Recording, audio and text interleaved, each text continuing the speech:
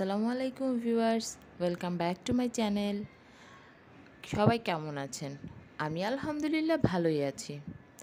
আল্লাহর রহমতে সুস্থ আছি, সুন্দর আরেকটি সকাল নিয়ে চলে আসলাম আপনাদের মাঝে। আজকে সকাল সকালই নাস্তাটা তৈরি করে ফেলছি। আর আজকে আমি সকাল থেকে দুপুর পর্যন্ত কি কি কাজ করি, সেইগুলোই আজকে আমি শেয়ার করব আপনাদের সাথে। তো আমি আজকে ঘুম থেকে উঠেই ফ্রেশ হয়ে চলে আসলাম পরোটা বানাতে। সকালে চা আর পরোটা দিয়েই নাস্তা হবে। তাই পরোটাটা বানিয়ে সাথে সাথে আমি চাটাও তৈরি করে ফেলছি। আর বন্ধুরা, আমার ব্লগ যদি আপনাদের ভালো লেগে থাকে, তাহলে অবশ্যই আমার চ্যানেলটি সাবস্ক্রাইব করে নেবেন আর পাশে থাকা বেল আইকনটি চাপ দিয়ে দেবেন এবং আপনার ফ্রেন্ডস অ্যান্ড ফ্যামিলির সাথে শেয়ার করে দেবেন। যাতে আমি আরও ছোট ছোট সুন্দর সুন্দর দিন নিয়ে আপনাদের মাঝে চলে আসতে পারি। চা বানানো হয়ে গেছে। এর মধ্যেই আমার মেয়ে উঠে পড়েছে। এখন আমি ওকে ব্রাশ করিয়ে দিব।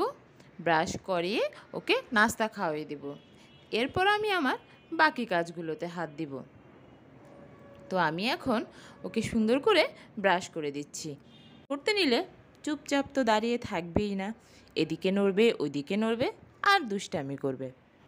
ওকে ব্রাশ টাশ করিয়ে দিব, তারপর ওকে নাস্তাটা সকালের খাওয়িয়ে দিব। আর নাস্তাটা খাওয়িয়ে দিয়েই আমি চলে যাব আমার কাজ কাম করতে। তো বাবুকে খাওয়ানোর জন্য আমি সকালে একটু কর্নফ্লেক্স আর দুধ নিয়ে নিয়েছি। এটাই খাওয়াবো। দেখুন না, খাবার দেখেই কেমন করছে। তাও তো খাওয়াতে তো হবেই। জোর করে সকালের নাস্তাটা একটুকে করিয়ে দিচ্ছি। ওকে নাস্তাটা খাওয়িয়ে দিয়ে আমি আমার কাজে চলে যাব। এই তো, আমি আজকের রান্নার সব আয়োজনগুলো করে নিচ্ছি। আমি কালকে রাতেই অবশ্য একটু চিচিঙ্গা কেটে ফ্রিজে রেখে দিয়েছিলাম। একটু যদি কাজটা আগের দিন গুছিয়ে রাখতে পারি, তাহলে পরের দিনের রান্নাটা একটু তাড়াতাড়ি হয়ে যায়। আর এখন এই পরিস্থিতিতে প্রায় কারও বাসায় হেল্পিং হ্যান্ড নাই। সো একই অবস্থা আমারও। তাই আমি যখন রাতের বেলা একটু ফ্রি থাকি, চেষ্টা করি আগে পরের দিনের সবজিগুলো একটু কেটে ফ্রিজে রেখে দিতে। আমি আজকে চিচিঙ্গা ভাজি করব ডিম দিয়ে। সো ওটা আমি কালকে রাতেই কেটে রেখেছিলাম। এখন শুধু ধুয়ে পানিটা ঝরিয়ে নিচ্ছি। এরপরেই আমি এটা ভাজি করে নিব। আর বন্ধুরা, আপনাদের সাথে তো আমি আগেই শেয়ার করেছিলাম, চিচিঙ্গা দিয়ে ডিম ভাজি। সো সেই রেসিপিটাই আমি আজকে দুপুরে রান্না করব।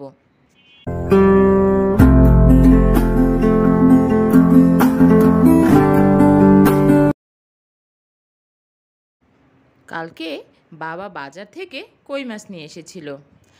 কাটাগুলো ফেটে, ফেলেই এনেছিল, তো আমি ওইভাবেই ডিপে ভরে রেখে দিয়েছিলাম। আজকে বের করে ধুয়ে নিচ্ছি। বাবা মানে আমার শ্বশুর আর কি। উনিই সব বাজার টাজার এখনও করেন। মাঝে মধ্যে একটু প্রয়োজন হলে আমি যাই, তবে বেশিরভাগ সময় বাবাই করে দেয়। এখন আমি মাছগুলো একটু ভালোভাবে বেসিংয়ে ফেলে ধুয়ে নিচ্ছি। কই মাছই তো, বোঝেন তো, পিছলা পিছলাই হয়ে থাকে। এজন্য আমি বেসিংয়ে ফেলে খুব ভালোভাবে কই মাছ ধুয়ে নিব। এখন কই মাছটা ধুয়ে এটার মধ্যে একটু লবণ দিয়ে ভালো মতো কচলিয়ে আর একটু ভালোভাবে ধুয়ে নিব। যাতে কই মাছের গায়ের ওই পিছলা পিছলা ভাবটা চলে যায়। কই মাছটা এখন আমি একটু ভালোভাবে ধুয়ে নিচ্ছি।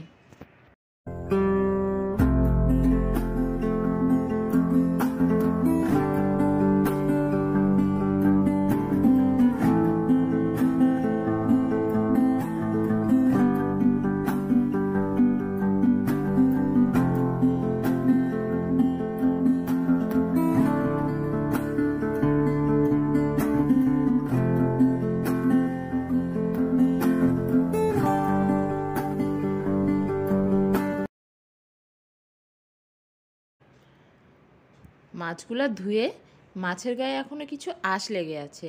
ওইগুলো এখন আমি এই ইটা দিয়ে, আঁশ তোলার মেশিনটা দিয়ে ভালোভাবে পরিষ্কার করে নিচ্ছি। বাজার থেকে অবশ্য শুধু কাটাগুলোই ফেলে দিয়েছিল। এখন আমি মাছের আঁশগুলো ভালো মতো ছাড়িয়ে নিব, নিয়ে মাছের পেটিগুলো ফেলে দিতে হবে। এটা দিয়ে খুব সহজেই অবশ্য মাছের আঁশ ছাড়ানো যায়। এটা দিয়ে বড় মাছেরও আশ ছাড়ানো খুব সহজ হয়ে যায়। বড় মাছ আনলেও আমি বেসিংয়ের মধ্যে ফেলে এইটা দিয়ে ভালোভাবে মাছের আঁশগুলো ছাড়িয়ে নিই। তো এখন আমি মাছের আঁশগুলো ভালোভাবে ছাড়িয়ে একটু ধুয়ে নিব।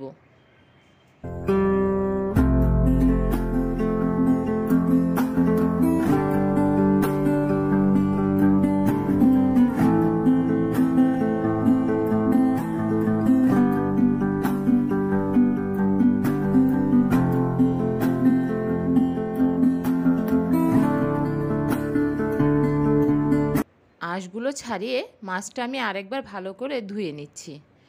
একটু ভালোভাবে ধুয়ে তারপরে এখন আমি এটা রান্না করে নেব। মাছ অবশ্য যত ধোয়া যায় ততই পরিষ্কার হয়ে যায়। তা মাছটা একটু ভালোভাবে ধুয়ে নিলাম। ধুয়ে আমি এখন কড়াইয়ে পেঁয়াজ আর তেল বসিয়ে দিয়েছি কই মাছটা ভুনা করার জন্য। পেঁয়াজটা একটু নরম করে আমি ভেজে নেব। একটু লাল লাল হলেই বাকি মশলাগুলো দিয়ে দিব। আর পাশের চুলায় আমি কই মাছগুলো একটু ভেজে রেখে দিয়েছিলাম। খুব বেশি কড়া করে ভাজিনি, তবে একটু লাল লাল করেই ভেজেছি। এর মধ্যে আমার চিচিঙ্গা ভাজি আর ডিম দিয়ে চিচিঙ্গা ভাজিটাও হয়ে গেছে। তো এই রেসিপিটা যেহেতু আমি আগের একটি ব্লগে দেখিয়েছিলাম, তাই এটি আর শেয়ার করলাম না। এখন আমি পেঁয়াজটা দেখুন, ভালোভাবে লাল হয়ে গেছে। একটু হালকা লাল লালই রাখব। নরম নরম হয়ে গেলে পেঁয়াজটা তরকারির সাথে খুব ভালোভাবে মিশে যাবে। ভুয়ান ভুনার পেঁয়াজ তো, এজন্য বেশি লাল করব না। এখানে আমি রেখে দিয়েছিলাম দুই চামচ রসুন বাটা, ধনে গুঁড়া, মরিচ গুঁড়া আর হচ্ছে হলুদ গুঁড়া। দুই চামচ মরিচের গুঁড়া ছিল, এক চামচ হলুদ গুঁড়া আর এক চামচ ধনিয়া গুঁড়া। দিয়ে মশলাটা এখন আমি ভালো করে নেড়ে কষাবো। তার মধ্যে দিয়ে দিব এখন আমি ফ্রোজেন করে রাখা একটু টমেটো। এখানে একটার মতো টমেটো রেখেছি, এটাই আমি দিয়ে এখন মশলাটা ভালোভাবে কষাচ্ছি।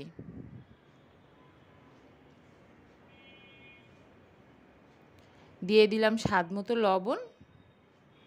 দিয়ে মশলাটা দিয়ে এখন আমি ভালো মতো একটু কষিয়ে, অল্প একটু পানি দিয়ে কষিয়ে নেব। যাতে মশলার কাঁচা কাঁচা গন্ধটা চলে যায়।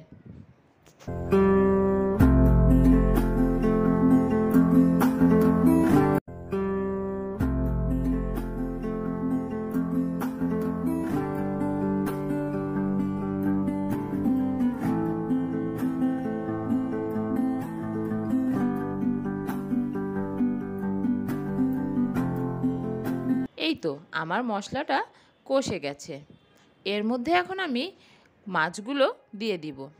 একটু একটু ঝোলঝোল আছে মশলাটার মধ্যে, এর মধ্যে দিয়েই মশলা আর মাছটা একটু কষাবো, যেন মশলার, মাছটার ভিতরে মশলাটা খুব ভালোভাবে ঢুকে যায়। ভালো মতো কষিয়ে পরে আমি এর মধ্যে একটু পানি দিয়ে দিব। তো মাছগুলো আমি সব দিয়ে দিলাম। দিয়ে এখন আমি ভালোভাবে একটু কষাবো তরকারিটাকে। মাছটা আমার কষানো হয়ে গেছে। একটু নাড়া দিলাম আর এর মধ্যে আমি দিয়েছিলাম আট দশটা কাঁচামরিচের মতো। এখন এর মধ্যে আমি অল্প একটু পানি দিব। পানি দিয়ে দশ মিনিটের মধ্যে একটু ফুটাবো। ফুটালেই মোটামুটি আমার তরকারিটা রান্না হয়ে যাবে।